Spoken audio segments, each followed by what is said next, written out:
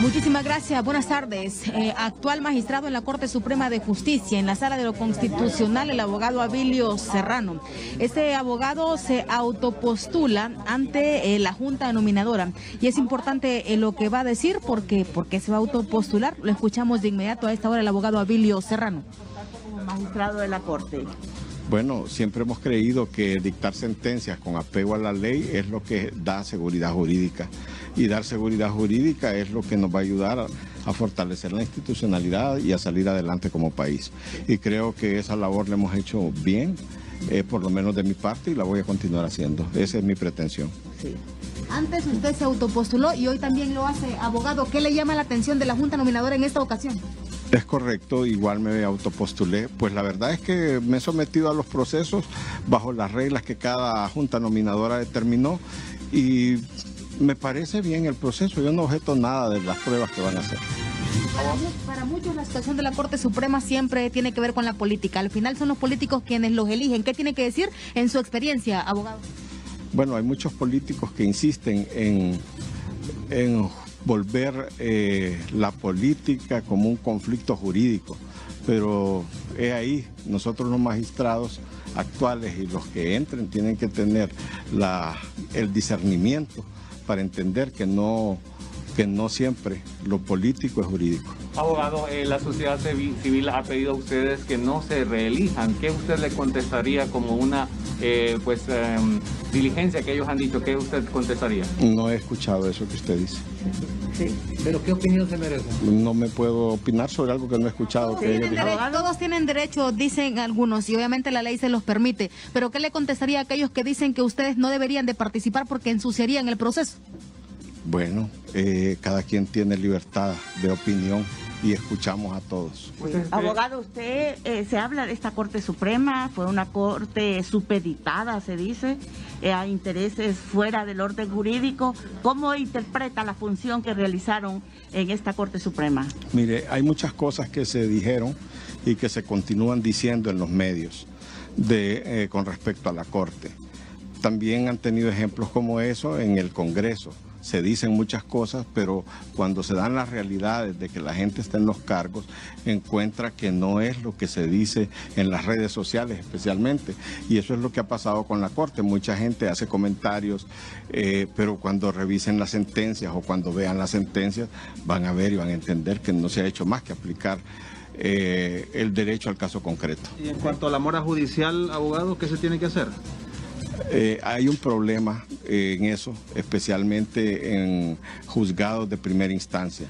A nivel de corte, yo puedo hablar por la sala constitucional y puedo decirle que no tenemos mayor mora que lo, que lo único que tenemos acumulado, pero es por el volumen que se presentó, son los recursos de revisión penal que surgen a partir de la entrada en vigencia del nuevo Código Penal. Precisamente de la Sala de lo Constitucional se ha estado esperando una respuesta de parte de ustedes en relación a si es o no legal la Junta Directiva del Congreso Nacional. ¿Qué opina usted?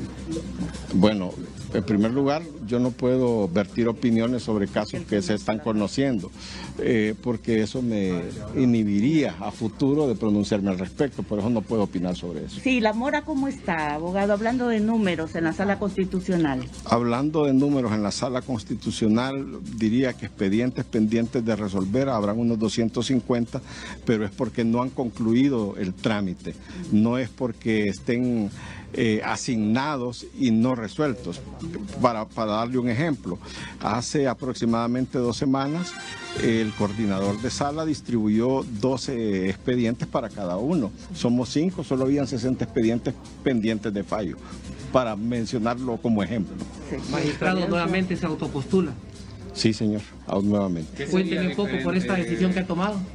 ¿Perdón? Cuénteme un poco por qué la decisión nuevamente se toma. Lo expliqué. Sí, estamos en vivo ya. Sí, lo expliqué ya. Sí, estamos en vivo. Abogado, ¿qué, cuestión debe ser diferente en este nuevo proceso si usted quedase otra vez en la Corte Suprema? ¿Qué es lo que no debe repetirse? ¿Algún vicio? Eh, yo creo que debemos enfocarnos más en la capacitación del personal y hacer eh, fortalecer los juzgados de primera instancia, que es donde el proceso judicial se ha vuelto lento. Eso, básicamente. ¿Qué le contestaría a los, políticos? Porque no es lo mismo verla venir que platicar con ella. Quisieran estar en sus zapatos. ¿Será fácil el trabajo que hacen los magistrados en la Corte? Pues no es fácil. eh, pero a los que nos apasiona el derecho, que creemos en la República, lo hacemos con el mayor de los gustos y creyendo que lo hacemos no solo para nosotros, sino para nuestros hijos, nuestros nietos y los que vengan después. El magistrado actual en la Corte Suprema de Justicia de la Sala de lo Constitucional, el señor Abilio Serrano, se autopostula nuevamente para magistrado en la Corte Suprema de Justicia y además de eso ha contestado diferentes preguntas, incluyendo también la mora que tiene la Sala de lo Constitucional, hablando de una u otra forma también responde a los políticos en el Congreso Nacional que bueno, la situación no es fácil, pero bueno, habrá que esperar qué es lo que se detalla más adelante en un futuro en este proceso. Junto a Carlos Soriano con ustedes nuevamente, compañeros. Bueno, muchas gracias Fanny. Ya vamos a regresar de nuevo con usted ahí a la Corte Suprema de Justicia, pero antes le detallamos lo que ha escrito eh, uno de los hijos de la presidenta de la República. Hablamos de José Manuel Zelaya Castro en su cuenta de Twitter en relación a lo último que ha pasado también con la embajadora. Dice, conozco de cerca a la embajadora Laura Dogu y puedo dar fe de sus buenas intenciones con Honduras. Los acuerdos y desacuerdos en diplomacia que sirvan para el buen entendimiento con el objetivo de fortalecer las relaciones de ambas naciones. Inmediatamente la embajadora ha contestado a este tuit y dice, gracias, José Manuel Zelaya, y lo etiqueta Melito Zelaya, Estados Unidos está comprometido con Honduras. Todo el equipo de la Embajada de Estados Unidos están trabajando fuerte cada día porque la relación bilateral es importante y beneficia a ambos países. Y así vamos a estar estos días.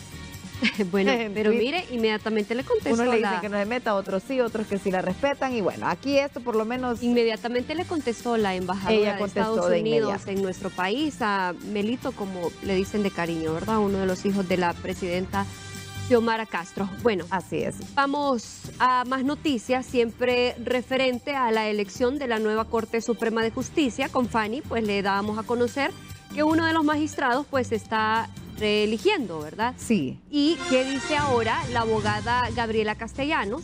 Ella da sus apreciaciones referente a esta reelección